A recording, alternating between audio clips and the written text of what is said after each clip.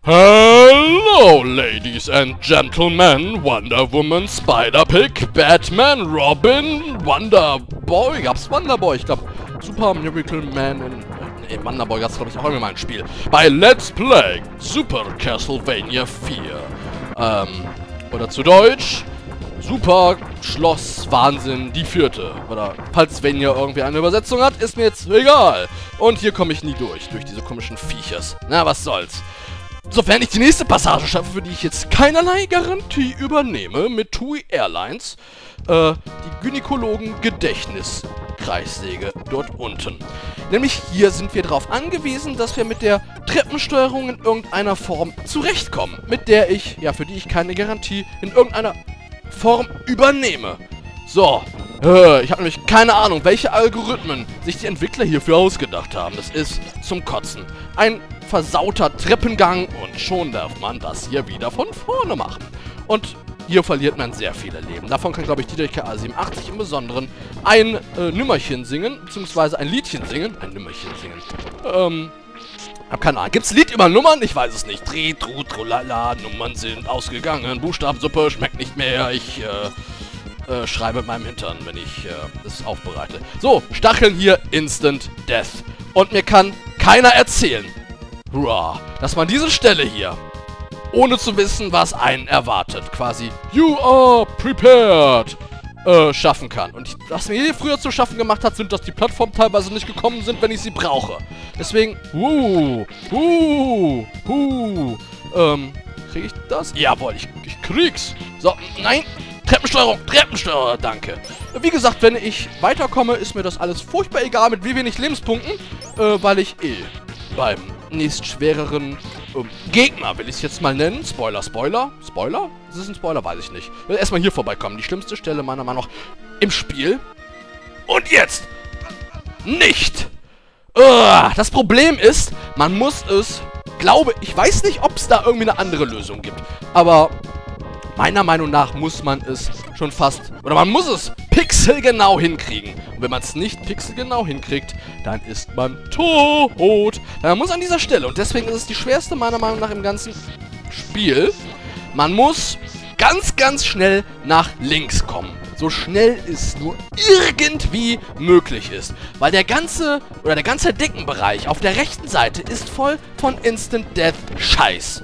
So, jetzt hoffe ich, dass ich nicht gegen ihn springe. Deswegen habe ich eben versucht, äh, nicht zu weit beim Hochgehen auf die rechte Seite zu gelangen. So, ha, bisher komme ich hier mit der Treppe besser zurecht, als ich gedacht habe. So, da oben ist wieder die blöde Plattform. Da springen wir jetzt hoch, dann springen wir jetzt da rauf, dann springen wir jetzt darüber und dann springen wir jetzt noch da weiter. Nicht dagegen laufen, dann gehen wir jetzt wieder hier rauf und sind glücklich. Nein, sind wir nicht. Nicht bis, bevor wir den nächsten größeren, schlimmen Bereich gepackt haben. Ja, diese, wenn man diese Stelle falsch angeht, kommen einfach keine Plattformen mehr und dann stirbt man, weil man da in die Treppen getragen wird. Ähm, ich hätte jetzt gerne eine Zweitwaffe. Na gut, das, man klappt manchmal auch ohne Zweitwaffe. Ähm, okay. Den machen wir noch irgendwie platt von unten. Von der Seite schlecht. Hat man sehr leicht getroffen. Ich könnte nochmal eine, äh, eine Penisverlängerung gebrauchen. Ah, da ist sie ja direkt. Oh, von Dr. Brink. Da falle ich schon wieder durch die Streppe durch fast. Okay. Ähm. Jetzt! Und jetzt... Oh Gott. Oh Gott. Oh Gott, oh Gott, da ist es. Seht ihr das? Seht ihr das? Das sieht man noch nicht. Und wenn man sieht, ist es zu spät. Es ist zu spät, ist es. Oh, Jesus, Maria und Josef. Jetzt noch, jetzt noch die nächsten Gegner packe. Dann ist mir das alles völlig egal, wie sehr ich hier gerade abgelost habe. Da kann mir aber keiner einen Strick draus drehen. Das habe ich super gemacht. Kann jeder sagen, was er will. Das habe ich super gemacht. Das hier mache ich dafür gerade schlecht, weil der ist eigentlich erstmal einfach. Ja, äh, springen, ich meine schlagen, rübergehen, ducken, dann trifft er eigentlich mit dem Speer nicht. Ah, wenn es nur so einfach. Upsi. Äh, wenn es nur so einfach bleiben würde. Wenn es nur so einfach bleiben würde. Meiner Meinung nach, ähm, einer der schwersten Bosse im ges gesamten Spiel. Genau deswegen. Nämlich, boah, er hat eine Fähigkeit drauf, also da. Dagegen gibt es kein Entrinnen. Zumindest kein mir wirksames oder bekanntes. Ähm, sobald er rutscht und man ist äh, meistens nicht weit genug weg, wüsste ich nicht, was man dagegen tun kann. Auch diese Pömpel hier, auf denen man sich, oder auf die man sich verziehen kann. Schützen meine ich überhaupt nicht. Hier, da geht er mir in den Hintern, steckt seinen Schnabel rein und sagt, WC-Ente hilft auch gegen Analverstopfung. Äh, nein. So, machen wir uns hier nochmal schön den Manst voll. Das ist das Schäne dran. Und wer jetzt meint, wow, die Entwickler sind gütig. Nein, das sind sie nicht. Das sind sie nicht. Jetzt kommen die Bell Tower Gargoyles. Oder Gargülen. Ähm, habe ich schlechte Erfahrungen nach... Äh, wie hieß das Spiel noch gleich? Die Dark Demon Dark Soul. Oh, ich wusste gar nicht mehr, dass du das kannst. Danke, dass du mich tötest. Äh, diese Fähigkeit hatte ich quasi nicht mehr drauf. Normalerweise fliegt er doch hin und her und macht irgendwie Spuck, Spuck, Spuck, Spuck, Spuck. Okay, einfach... Ich mache jetzt einfach nur noch drauf, drauf, drauf, drauf, Feuerzeug, drauf. Wenn ich ihn treffe, dann... Eigentlich ausweichen. Besser gedacht, als ich es gerade hier tue. Meine Güte. Eigentlich ein einfacher Boss äh, wenn er denn nicht runterkommt und man gescheit reagiert, man nicht direkt vor dem Feuer, vor dem Mündungsfeuer, vor dem Schrapnellfeuer, vor den Feuerzeuggranaten stehen bleibt. So, den nächsten Boss werde ich zumindest jetzt nicht schaffen, weil die Entwickler hier nicht mehr ganz so gut drauf waren, was das angeht. Das ist die Frage, mache ich so oder mache ich so? Es ist ein alter Bekannter, der Mr. Death. D.E.D. Death. Und er hat das gleiche Problem wie die äh, wie die blöden... Okay, jetzt kann ich ihn treffen. Oh Gott. Man kann die Peitsche hier als Schild benutzen. Das ist, äh, eigentlich way to go, sage ich jetzt mal. Muss ich nur rechtzeitig umdrehen, nämlich jetzt. Und dann kommt er runter. Ja, das ist uh, eigentlich die sicherere Methode. Das Problem ist nur, wenn ich hier nicht gescheit agiere und ich... Oh, das hat doch geklappt. Werde ich jetzt gleich tot sein. Ähm, okay, werde ich jetzt einen Treffer kassieren? Ist mir aber auch egal. So, jetzt wieder wappnen gegen... Oh, da kommt er wieder runter. Vielleicht... Ich muss ihn jetzt, glaube ich, tot kriegen. Wenn nicht, dann bin ich tot. Okay, ähm... Risiko! Oh Gott! Jetzt aber! Yes! Wow! Ich fasse es nicht. Ich habe den Tod mit so wenig Lebenspunkten, glaube ich, noch nie geschafft in diesem Spiel. Äh, Wäre es mir allerdings nicht bewusst gewesen, dass ich meinen Peitsche als Schild benutzen kann gegen diesen Gegner dann wäre es nicht passiert. Ja, ihr seht schon, es ist für mich mental äußerst anspruchsvoll hier gerade. Und äh, jetzt ist nur noch der CEO da. CEO. So, ich werde diesen Trick hier benutzen, ist mir völlig egal. Weil ich mich auch in die... Äh, oder weil ich mir auch die Blöße geben kann. Moment. Hier ist nämlich eine Treppe und hier ist ein Abgrund. Springen und schaffe es. Oh, Gott sei Dank. Ah, aber jetzt noch den Endboss schaffen. Und ist mir völlig egal. Ich werde ihn ohne Taktik, naja, ohne Taktik ist jetzt vielleicht zu viel gesagt. Ähm, ich werde einfach die ganzen Items, die ich gerade bekommen habe, total abusen. Es tut mir leid. Er hat zu viel Stromrechnung bezahlt, wie es aussieht. Ja, wir müssen nämlich uns jetzt über Dracul A. -Punkt, über seinen Kopf hermachen. Ah, ich weiß noch, wie der Kampf einigermaßen funktioniert. Meistens. Das ist jetzt gut. Ich weiß nicht, manchmal spalten sich die Feuerbälle in mehrere Teile auf. Äh, das, wenn man diese Geheimstelle benutzt, uh, uh, ich meine, uh, uh, oh, oh, oh, oh, äh, das Schöne ist, die Dinger hinterlassen Fleisch, wenn man es denn kriegt. Oh Gott, ich hasse die Dinger. Damit komme ich nie klar. Damit komme ich nie klar. Damit komme ich nie klar. Ähm. Oh. Oh. Oh. Oh. Ich bin ja gerade beim Tennis. Oh. Venus Williams gegen Vanessa Black. Äh, Roy Hühner sind aus dem Häuschen, weil ich keine Ahnung habe, wie man das hier gescheit macht. Ich hoffe nochmal, dass er eigentlich... Okay. Okay. Ähm... Oh ja, bitte triff es. Bitte lass es... Oh ja, oh ja. Was, was... Oh yeah. Das ist sehr gut. Das ist sehr gut. Lebenspunkte bekommen. Letzte Phase. Und jetzt ist Action-Musik angesagt. Ja, mit den Gesichts... Oh, scheiße. Okay, ich muss mich hier ein bisschen anders einstellen. Mit den Gesichts... Ähm, Penetratoren hier. Schneiden wir ihm langsam die Kenntnisse zu seinen Schweizer Bankkonten aus dem Kopf. Action Music, alles ist fast geschafft, wenn man denn nicht so versagt spielt, wie ich es hier gerade tue. Lalala, lalala, eigentlich ist es einfach, den Blitzen auszuweichen, die mich an Jafar aus Aladdin erinnern. So, er oder ich. Wah! Wah! Stirb! Hier! Der Kabelbrand, Lichtschutzfaktor, Zerstörer hat ihn dahin gerafft.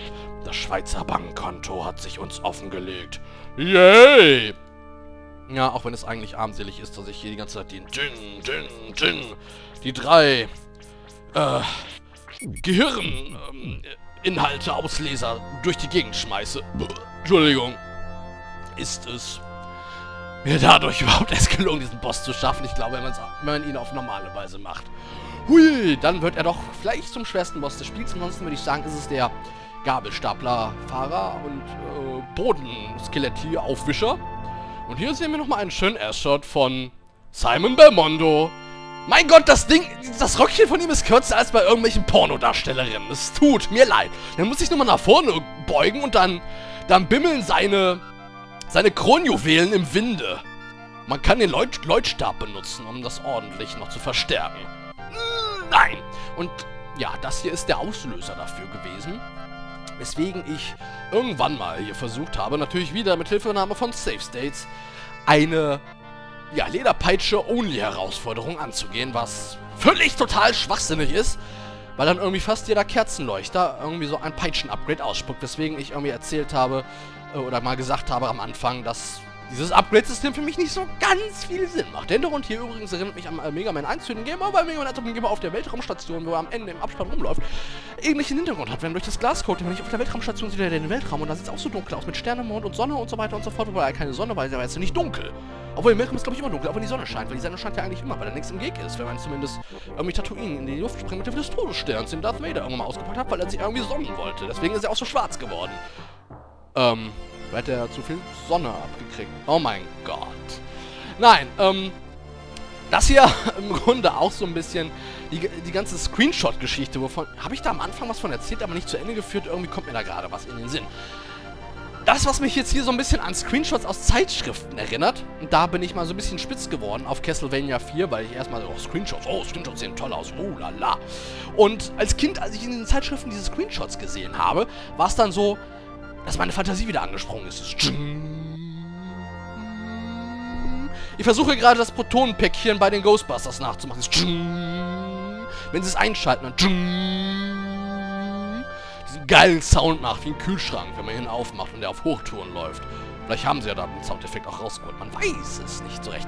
Jedenfalls läuft da mein Kopf auf Hochtouren und denkt sich dann aus, hm, wie könnte diese in diesem Screenshot verewigte Passage jetzt wohl weitergehen? Kann der Spieler den Angriffen, die eventuell gerade vom Boss, wie jetzt beispielsweise hier dargestellt werden, noch ausweichen? Wird er getroffen? Oder gerade auch dann, wenn man das Spiel nicht kennt?